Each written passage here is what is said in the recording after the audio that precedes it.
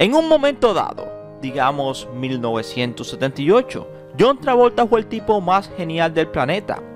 Era amable y era el rey de la pista de baile en Saturday Night Fever.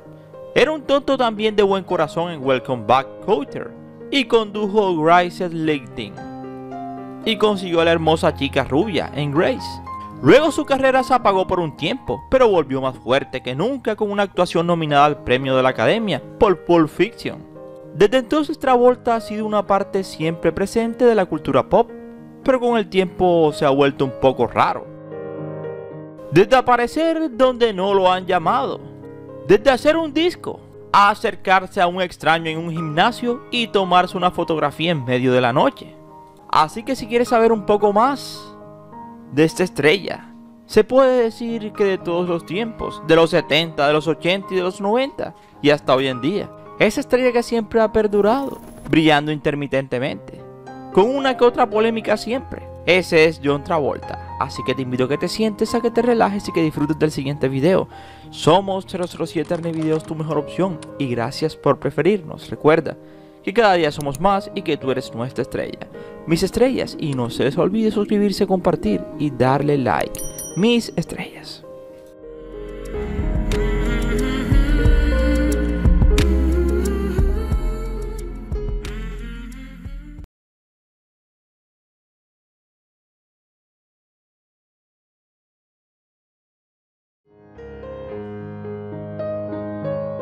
La mayoría de las parejas que se casan siempre toman fotos después de la boda.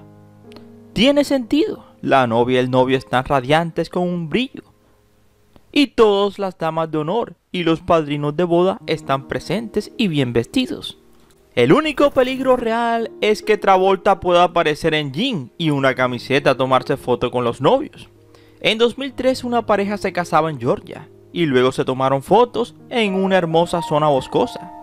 Según los informes, uno de los invitados se encontró con Travolta en aquel bosque. Y lo que se supo fue que Travolta estaba en la boda. Vestido con jeans azules, una camiseta negra y una gorra de béisbol negra. Sin ser invitados, se tomaría un montón de fotos con la pareja de la boda. Así que ese es John Travolta. Metiendo sus narices donde no lo han llamado. Pero al fin y al cabo es Travolta, la leyenda.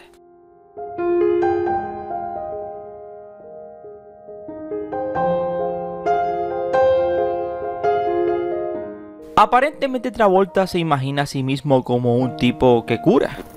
Según cuenta la historia, el legendario Marlon Brando se presentó a una escena de Hollywood, en una película. Así que a pesar de tener mucho dolor en la pierna, fue a trabajar. Travolta estaba allí y ofreció magnánimamente sus servicios. El también actor Josh Brolin también estuvo presente y vio cómo todo se derrumbaba Travolta ponía las manos sobre Brando y Brando cerraba los ojos mientras Travolta se ponía a trabajar en el masaje. Luego después de 10 minutos, Brando abre los ojos y dice, eso realmente ayudó, de hecho me siento diferente.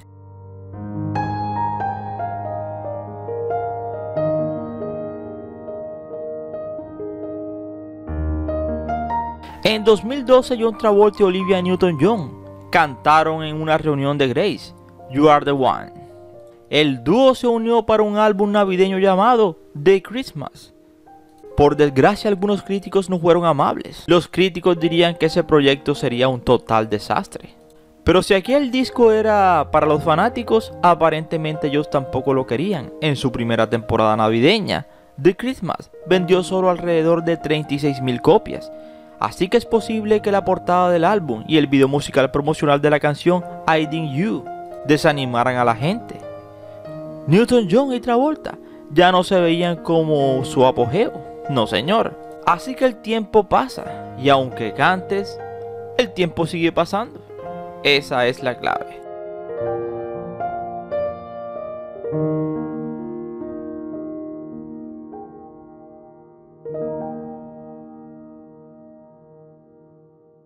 Lugares como Planet Fitness Pueden estar abiertos las 24 horas del día, pero están prácticamente vacíos a las 3 de la mañana, a excepción de alguna que otra estrella de cine de Hollywood conocida. Bueno, se les abre. En enero del año 2015, un hombre de Ocala, Florida, llamado Justin Jones, terminó un turno tarde en el trabajo y fue al Planet Fitness local para hacer algo de ejercicio. Fue entonces cuando John Travolta, el John Travolta de siempre, se acercó y comenzó a conversar con él. Se presentó de pronto y dijo, hola, soy John. Y empezaron a hablar durante unos 15 minutos, que incluyeron a Jones diciéndole a Travolta que era fanático de Welcome Back Coater. Y eso le pareció un halago. Y Travolta le respondió, sí, el tiempo ha pasado volando.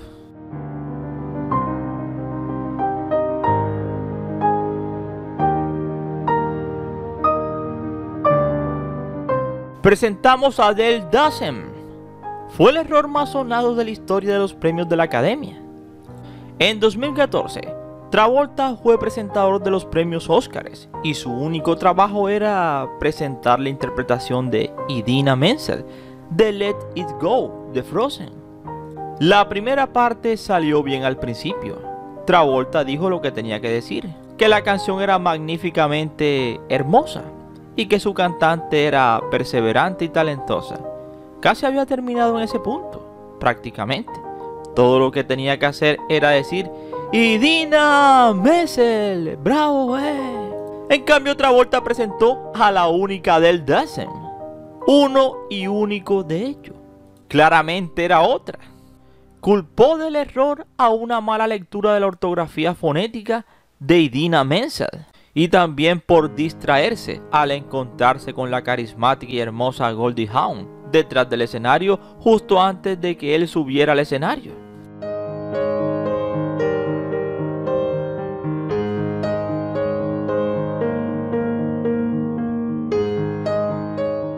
Y regresemos al mismo caso.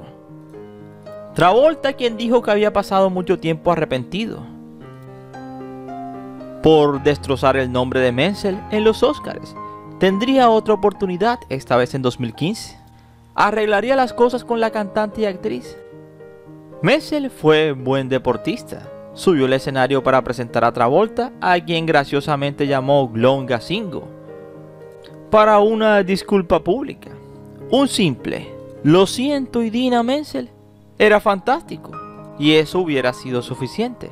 Pero Travolta fue más allá de las palabras. Mientras elogiaba a Menzel, también la miró demasiado tiempo. La sostuvo en un brazo prolongado y le tocó la cara repentinamente. Lo que es aún más extraño es que según un representante de Travolta, este fue un intercambio planificado previamente que Travolta y Menzel ensayaron.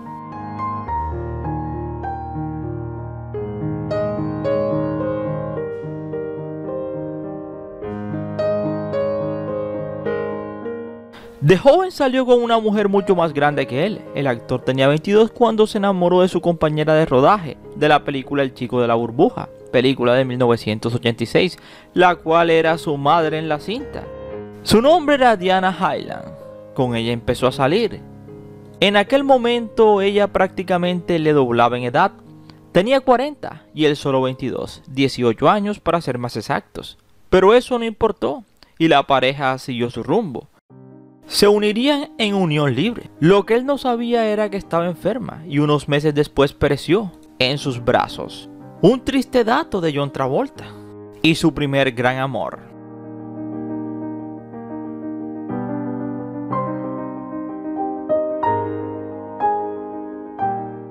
Y la última aparición de John Travolta, o una de las últimas, fue comprando pan en una panadería en Argentina. Allí se le puede ver prácticamente vestido, como cuando se tomó la foto con los novios en la boda. Gorra negra, camiseta negra y blue jeans. Sorprendería por completo a ese grupo de clientes que se encontraba en aquella panadería, comprando pan, fotografías, flashes, iban y venían, y un John Travolta sonriente. Honestamente, John Travolta es un famoso, sí, y muy excéntrico. Figura excéntrica hasta la coronilla. Así que una vez más te doy gracias por preferirnos y recuerda que cada día somos más y que tú eres nuestra estrella. Mis estrellas y no se les olvide suscribirse, compartir y darle like. Mis estrellas.